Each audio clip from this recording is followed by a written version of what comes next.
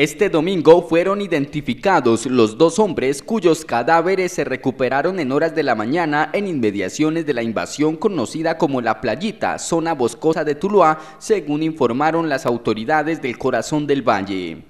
De acuerdo con el informe de la SIGIN de la policía, se trata de Cristian Andrés Mesa, de quien no se ha establecido su edad, y de Edwin Andrés Gutiérrez Saavedra, de 25 años el levantamiento de los cadáveres, cuyas cabezas fueron abandonadas en una bolsa plástica en la parte posterior del cementerio central, se realizó cerca de las 9 y 5 de la mañana, luego de un barrido que adelantaron las unidades del ejército y la policía. Ambos presentaban múltiples disparos y al parecer señales de tortura.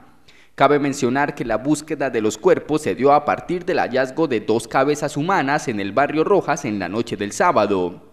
Funcionarios del CTI de la Fiscalía realizaron el levantamiento luego de que vecinos de ese sector dieran aviso a las autoridades de una bolsa plástica abandonada cerca de las 7 de la noche. En ese mismo lugar donde se hallaron los cuerpos decapitados, se encontró una motocicleta en la que al parecer se desplazaban las víctimas. La administración municipal, comprometida con la seguridad, ha dispuesto el pago de 10 millones de pesos por quien aporte información que permita esclarecer los autores intelectuales y materiales de este hecho.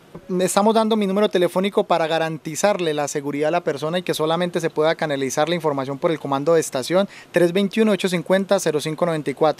Allí estamos recibiendo toda esta información, eh, decir que tenemos ya muy buenos avances, esperamos dar muy buenos resultados y que podamos esclarecer este hecho.